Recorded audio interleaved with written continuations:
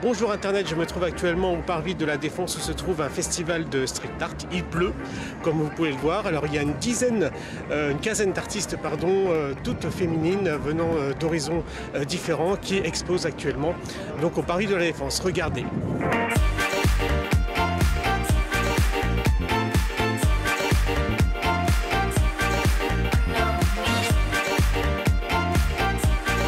Malheureusement, la pluie s'est invitée à la Urban Week 2018, ce qui a gâché la fête de l'art urbain. C'est la cinquième édition de ce festival dédié à la culture urbaine ou la street culture. Cette année, 15 femmes graffiti artistes étaient à l'honneur, issues de 10 pays différents. Canada, Colombie, France, Grèce, Mexique, entre autres. Ce fut l'occasion de découvrir le parvis de la Défense sous un angle différent.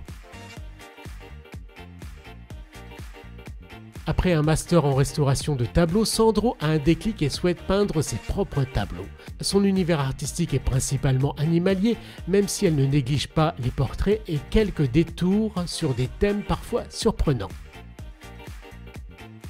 Vinnie est née à Toulouse et organise sa première expo à l'âge de 10 ans. C'est à l'adolescence qu'elle s'initie au graffiti. En 2007, elle quitte la Ville Rose pour Paris où elle occupe un poste de directrice artistique. Judith Deleu est une nouvelle artiste à la réputation grandissante. Elle est née et a grandi à Amsterdam.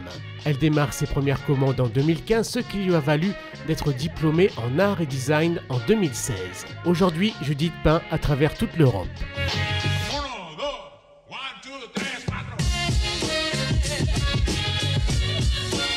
Alegria del Prado est un duo formé par Octavio Macias, Alegria et Esther González del Prado. Ils n'ont jamais cessé de peindre ensemble et vivent entre le Mexique et l'Espagne.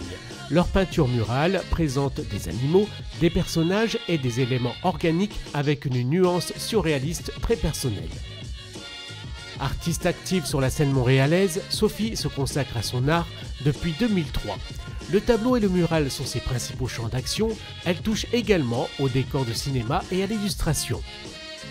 Malheureusement, nous ne pouvons pas vous détailler chaque œuvre. Rendez-vous l'année prochaine pour les Urban Week 2019.